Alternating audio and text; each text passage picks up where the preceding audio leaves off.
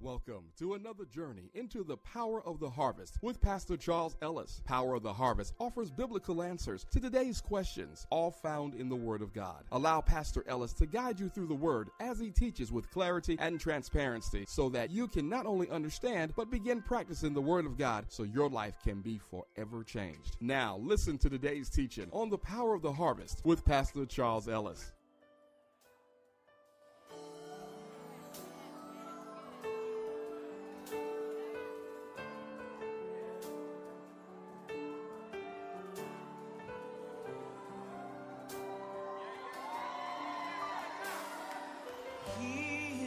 Jealous for me.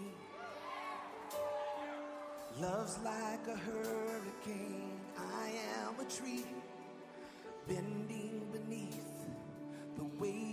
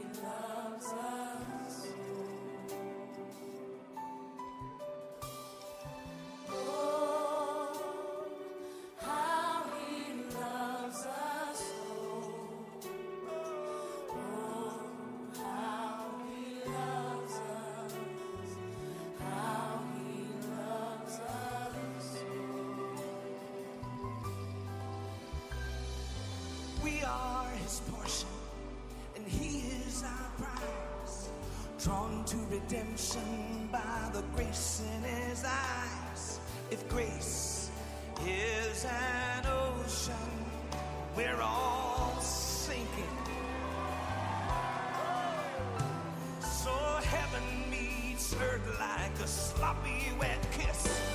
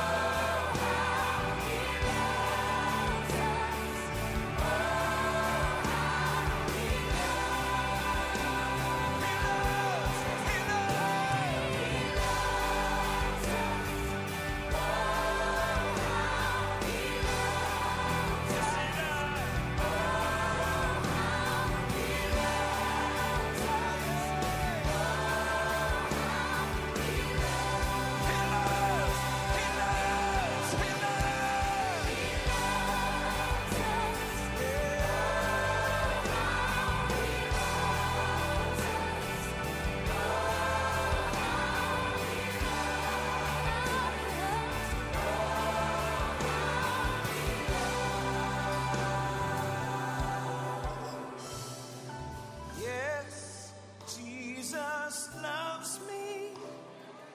Yes,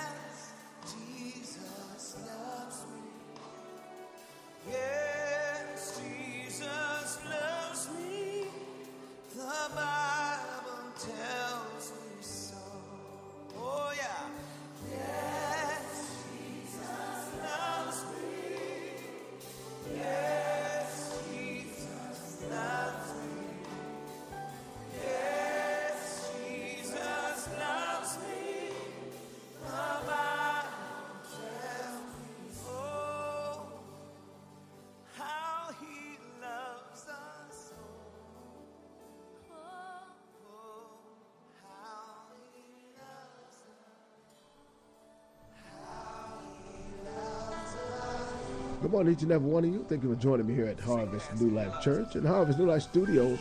We're going to be finishing that series out that we're going to kind of end that on today over there in the book of Exodus. As we're dealing with the heart of the heart of Pharaoh and some of the things that God was actually coming against him in terms of how he just rebelled or he just didn't want to relent to what God wanted him to do. As I said before, it's always a pleasure you guys deal with me here on the Harvest New Life Church at Harvest New Life Studios. And uh, we're going to be opening up in prayer. We're going to get right into the word this morning. It's going to be the last part of the series that I'm teaching on these uh, last four chapters.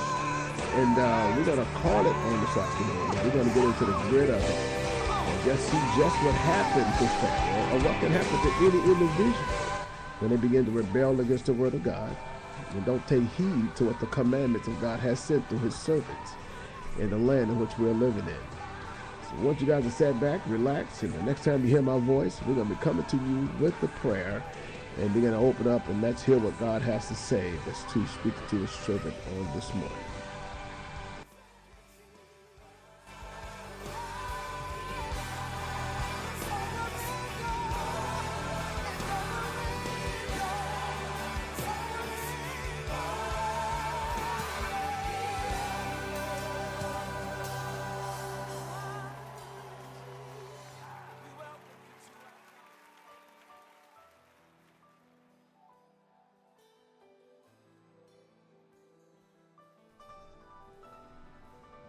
Father God, we thank you, we bless you, we honor you this morning. For God, for giving us the opportunity to come before your throne. To hear what you have to say that's coming to the kingdom. Father God, filter this word through the presence and the power of the Holy Spirit. That even as I go forth, Father God, let me solidify myself according to you, Father God. That everything that I speak and everything I say be filtered through the power and the presence of the Holy Spirit. Father God, let it be a decreed word that comes from the kingdom of God. Let no weapon be designed, engineered, or formed or fashioned against it. And Father God, even as we begin to speak, Father God, illuminate, transform, and change. Let the power of the convicting spirit begin to move up and down and all around. And Father God, let us shut down every negative thing that's not like you. I decree this word in the name of Jesus. That even as I begin to move forward, Father God, give me that what I need that comes from the kingdom God, that I may know and understand that I'm truly sent as being your prophet in the season in which I'm in, Father God, that I may declare that all you have given me according to the kingdom of God. Father God, these things I speak not of myself, but the power of the Most High God. Sent forth a word this morning over to Saginaw, Michigan, to my mother, who's in a, pretty much at a, I ain't gonna say critical, but an illness state. And we actually praying for all the mothers out there. As we begin to raise up the mothers before you, Father God, in the name of Jesus, and we begin to look upon them, Lord. And we begin to speak a word that comes from the kingdom, Father God. We begin to declare and decree that through you, Father God, that everything and all things are possible. Father God, you said with man it's impossible, but to you, Father God, all things are possible. So we thank you, Father God, for as we send forth the word, Father God, as says the centurion soldier sent forth the word to his servant. Father God, we declare, Lord, from the crown of the head, from the mole of the head, to the uh, to the to the to the crowns, uh, to the to the to the surface, or to the heels of their feet. I mean, every area, every part of the body, that it be healed, Father God even to the tip of their toe, that every internal organ, Father God, has got to line up according to the blood. I decree it right now in the name of Jesus. either a host of the. As we begin to pray for every mother, Father God, who may be facing an illness or sickness in their body. We cast out every disease, Father God, every pestilence that ever try to come against them, Father God. And with the life you have given them, Father God, that they may live, Father God, and live so lawfully, fall so lovingly, but that you will desire for them to have even in their old age. Father God, I decree the word right now in the name of Jesus. I call the word that's got to go forth. I believe will not come back void, but it's already have the power to compass all that there is. These things I speak not of myself, but for you, Father God. In the name of Jesus Christ of Nazareth, I pray, Lord, amen. it's, it's been amazing that uh, we've been talking about the story dealing with the area of uh, uh, the egregious heart that uh, Pharaoh had against the service of God. And we started off earlier. For those who are with us in this actual um, four day series, we've been teaching out of the. We came out of Acts, uh, not Acts, well, the Acts is really on. I got to get into that. We came out of the book of uh, Exodus, and we started over in Exodus chapter 4, and we moved over to Exodus chapter 7, and we begin to see the powerful word that came from the kingdom of God that uh, he declared and decreed that, that uh, he shall make Pharaoh, I mean, he shall make um, Moses a God to Pharaoh. We look over in Exodus 7 and 1. We see the power of God's word. As we flip our scriptures, begin to look over them for those who are turning along with us. We see the power of God's word come forth. And it said so that uh, that he so he uh, said to Moses that I have made you. He said, I will make you. He said, I have already given to you. I made you a god to Pharaoh, and Aaron's your brother should be thy prophet. And you're gonna go in over there in Egypt, and you're gonna whip this man of God with a stick. And the words that come out of my mouth that I give you to speak on to him. The word declared and decreed, and it says it so strongly over in the book of uh, Exodus, chapter 8. Talks about that 23rd verse, that uh, how God is about to make a difference between the people of Egypt and the people of Israel, the people of Goshen, God's chosen people.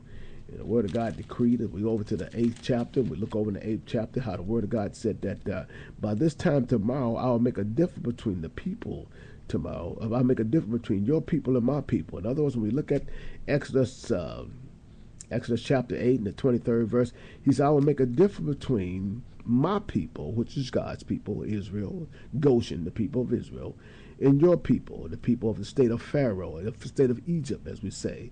And God said, "This thing will come to fruition by this time tomorrow." And we begin to lead off that area of scripture teaching and how the word of God decrees according to the book of Isaiah 55 and 11 that every word that proceeds out of the mouth of God, it's got to go forth. It will not come back to the void, but it will accomplish all that then. Matter of fact, when you look at Isaiah 55 and 11, you'll see just that, how God perceives and declares decrees. That even before you get to verse 11, he talks about how my thoughts and your thoughts as far as for the heavens and the earth. When God decrees a plan and declares a word, you better move on it. And I'm telling you, the hardening of Pharaoh's heart didn't really understand until the disease began to come against him. All the different uh, plagues began to come against him. Uh, uh, all the gods that Pharaoh had set up over in the land of Egypt as representation to the people who dwelt in there. God's going to come in and he's going to knock down every one of his gods to prove to Pharaoh that I'm going to raise you up for this time, to prove to you that what you set up in your times or what you call your monuments or your strategies to prove that you, you rule the land. I'm gonna show you that I'm gonna shut you down by everything that proceeds out of the mouth of these two just layman men who I picked, Moses and his brother Aaron. I'm gonna cause you to be to fall by the commands that they have in their mouth. And with the miracles of performance that I would do through them, you will come to understand that I am the God and the only God. In other words, for this purpose, Pharaoh, I've raised you up to harden your heart. I harden your heart because I'm going to whoop you. I'm going to whoop you and I'm going to show you that there's no other God that come against the God of the heavens, the God, the creator of the universe. And I'm going to prove to you once and for all that I'm not a God that I should lie, and I'm not a son of any man that I should have to repent. In other words, you pick your hands on the wrong one. You're about to find out what I'm about to do to you in the series that we're speaking on. Uh, we're going over to the book of uh, Exodus, uh, chapter 9, and we see over in chapter 9, over in the book of Exodus, and we begin to start the story as we left off yesterday, which is actually 9 and 16. But we're going to move a little swiftly here, but we're going to explain some things very uh, promptly that you'll get some of just a microcosms or some of just uh, just uh, solidification of what we're speaking here about these events that's about to take place against Reverend Pharaoh and the hardening of his heart because he rebelled against the word of God sent through his servants. It says over in the book of uh, Acts, uh, now, ooh, that Acts is on me, I'm telling you, in the name of Jesus.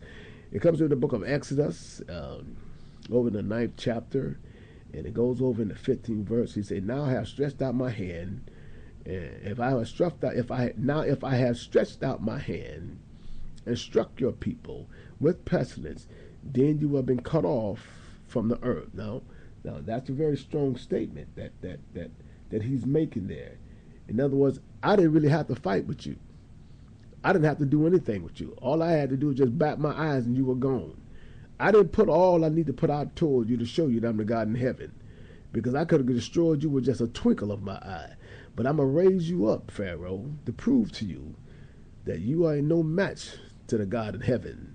That even as it goes over and over in the 16th verse, he said, Indeed, for this purpose I have raised you up, that I may show my power in you, and that my name may be declared through all the earth. I'm going to prove to you that you're fighting a God of heaven. You fight the omnipotent, and I'm the present God. And there's no way you're going to win. I'm a God has never lost a battle, and I will never lose against you. You are mortal. I created you. I made you. I engineered you. But since you want to set out your own strategies and come up with your own God and your own tactics, as the word says, calls it, uh, I think it talks about self-advertisement, uh, one who actually empowers himself It makes him